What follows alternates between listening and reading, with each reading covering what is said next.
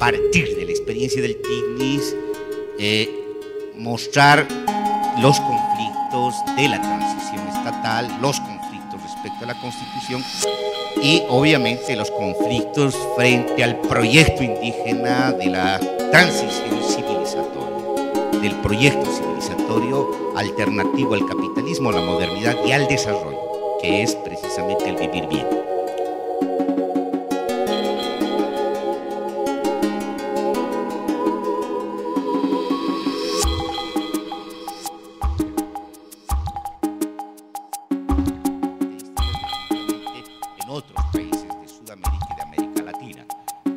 Vacío político lo que, eh, eh, lo que aparece precisamente es este sujeto indígena. Un sujeto indígena que interpela al capitalismo, que interpela al colonialismo, que interpela a la nación boliviana, el Estado boliviano y la sociedad.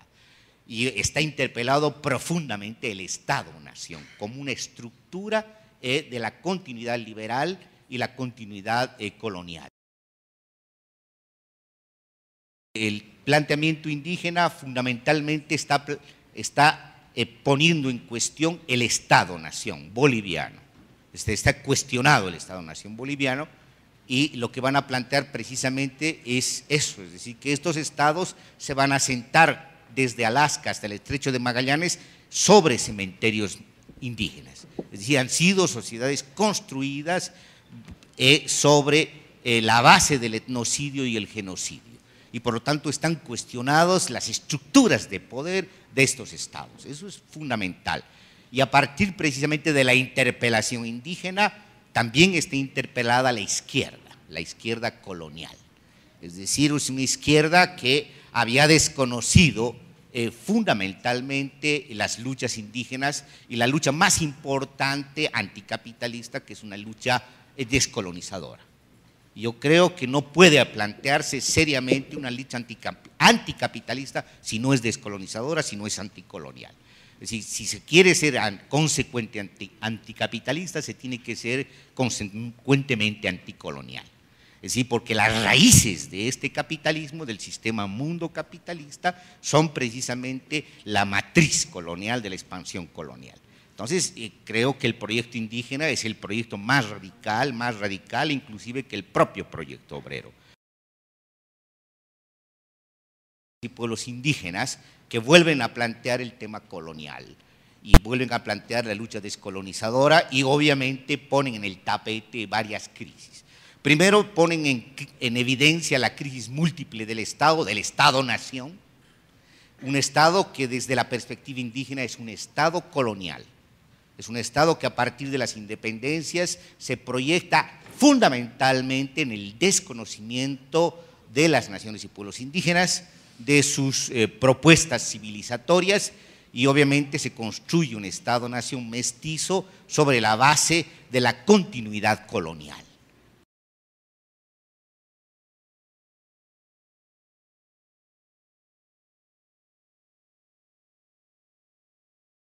Cuando se plantea por primera vez la necesidad de una asamblea constituyente, es en un cabildo de Cochabamba, en plena crisis, cuando se llega precisamente a la convicción de que había que ir a una asamblea constituyente y no a las elecciones.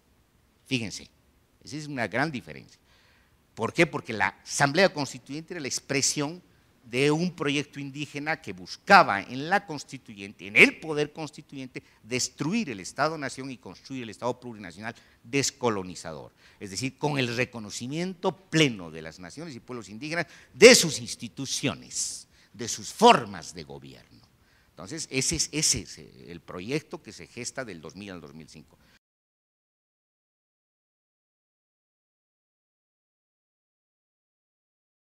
El, MAS no está en, este, en estas luchas, no dirige estas luchas. Estas luchas son dirigidas fundamentalmente por las comunidades indígenas, por las organizaciones sindicales campesinas, por la coordinadora del agua de Cochabamba, por la Junta de Vecinos del Alto, es decir, por organizaciones autoconvocadas que tienen características propias, y las características propias son precisamente antinacionalistas y obviamente están interpelando a la izquierda, además de interpelar al neoliberalismo. El MAS es sencillamente una de las organizaciones dentro de este bloque muy vinculada a la defensa de la coca, una defensa de la coca que se convierte rápidamente en una defensa antiimperialista. El MAS entonces en este momento es un proyecto electoral muy vinculado al proyecto nacionalista y muy vinculado al proyecto de la vieja izquierda tradicional. Es muy difícil además que entienda las luchas indígenas. Ha sido muy difícil en la constituyente convencer al MAS de que por lo que se estaba luchando es la muerte del Estado-Nación y la construcción del Estado plurinacional. Es decir, se llega al 2005, después de tomar varias ciudades, se toma La Paz, se toma El Alto, se toma Oruro, se toma Potosí y se, termina tomando Sucre. Y la discusión es cómo resolvemos esta crisis. Esta crisis vamos a resolver por el lado de las elecciones o vamos a resolver por el lado de la Asamblea Constituyente. La posición de las organizaciones más representativas era ir a la Asamblea Constituyente de manera inmediata, porque ya estaba autoconvocada la Asamblea Constituyente. Pero en realidad el MAS no quería eso y se llegan a las elecciones. Bueno, y en las elecciones todo el mundo sabe lo que ocurre, es decir, gana el MAS. Gana el MAS y cuando gana el MAS, bueno, eh, eh, todo el mundo se pone muy contento porque obviamente tenemos un presidente indígena, y la mayoría decidimos apoyar a pesar de las grandes diferencias que habían.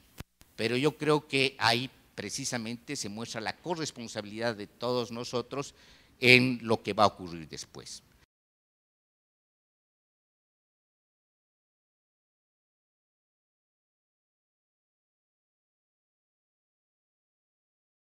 Dos etapas en las propias gestiones del gobierno. La primera gestión es la del 2005 al 2009, que es una gestión donde tienen que cumplir la agenda de octubre, la agenda de la ciudad del Alto, de Guarizata, de Ilabaya, de, de, la zona rebelde del altiplano. Tienen que cumplir, porque si no cumplen podía ocurrirles lo que le ocurre a Carlos Mesa, caerse inmediatamente. Entonces empiezan a cumplir y la agenda de octubre se resume a dos cosas, nacionalización de los hidrocarburos y convocatoria a la Asamblea Constituyente. El problema es que convoque el Congreso a la Asamblea Constituyente. ¿Por qué el Congreso? ¿Por qué un poder constituido tiene que convocar a una Asamblea Constituyente que ya había sido convocada insurreccionalmente? Ahí hay un problema. Hay una intención explícita de limitar los alcances del poder constituyente.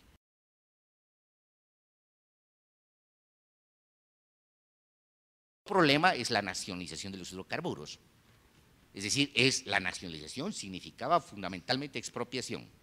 Y no se expropia, obviamente se en un año se vive un 82% eh, para el Estado y un 18% para eh, las transnacionales, pero cuando acaba, la, eh, cuando acaba la fiesta, es decir, cuando se llegan a los contratos de operaciones, en esos contratos de operaciones se desnacionaliza el proceso de nacionalización. Es decir, se entrega todo el control técnico a las transnacionales se llega al proyecto del MAS, que no era el proyecto de los movimientos sociales, 50-50%. Es decir, se comienza con el proceso de desnacionalización en el proceso. Hasta el, hasta el 2009 se cumple mediatizadamente, regresivamente, tramposamente, se cumple con la agenda de octubre, es decir, no se cumple. Y después del 2009 al 2012 es la etapa más complicada, porque es la etapa de enfrentamiento con el pueblo boliviano y con las naciones y pueblos indígenas originarios. Concretamente hay dos fechas importantísimas. Una es eh, el gasolinazo, se opta por una medida de shock monetarista, neoliberal, ocultando al pueblo la medida hasta el último día del año, cuando estaba desarmado completamente, se la medida, bueno, y nadie esperaba una reacción popular porque los dirigentes estaban controlados y cooptados, pero nadie eh, se da cuenta de que estamos ante un pueblo que es capaz de autoconvocatorias. Se autoconvocan las bases, hay un levantamiento popular que obligan al gobierno a retroceder en la medida. Y el segundo enfrentamiento es el más complicado, es el enfrentamiento del contenido mismo de la Constitución es el enfrentamiento del proyecto descolonizador, es el enfrentamiento del proyecto civilizatorio del vivir bien, que es lo que se había establecido de manera muy clara y específica en la conferencia de pueblos contra el cambio climático, es decir, contra las cumbres de Naciones Unidas. Y ahí se había decidido definitivamente lanzar una guerra contra el capitalismo en defensa de la madre tierra y además definir muy claramente qué es el vivir bien. El vivir bien es un modelo alternativo al capitalismo, a la modernidad y al desarrollo y al extractivismo. ¿Qué es Tiquipaya? Es eso. Las naciones y pueblos indígenas, las 64 comunidades de Tiquipaya, salen en defensa de la Constitución, porque la Constitución dice eso. La Constitución dice destrucción del Estado-Nación y construcción del Estado plurinacional, comunitario y autonómico. Y eso significa transformaciones estructurales, transformaciones institucionales y no mantener de ninguna manera la estructura normativa liberal. Y lo que hacen es defender y restaurar el Estado-Nación contra el Estado plurinacional. En el TIMI se vive una guerra entre el Estado-Nación boliviano y el Estado plurinacional de la Constitución. En el TIMI se vive la guerra entre el modelo extractivista que ha optado el gobierno continuando las políticas de todas las castas criollas en Bolivia que han optado por el modelo extractivista y el modelo alternativo al extractivismo, que es precisamente el modelo del vivir bien. Y en el TISNI se vive precisamente la guerra entre las naciones y pueblos indígenas y un gobierno que ha optado por defender los intereses de las transnacionales petroleras, hidrocarburíferas, de la construcción de carreteras, Entonces el TIB es lo que ha mostrado una crisis profunda, ninguna tensión creativa, aunque esa sea la intención del jacobino, ninguna tensión creativa. Son profundas contradicciones que obviamente han puesto en peligro el propio proceso. Y los movimientos indígenas han decidido, en documentos ya conocidos, de que van a defender el proceso contra un gobierno que está contra el proceso. Aquí termino.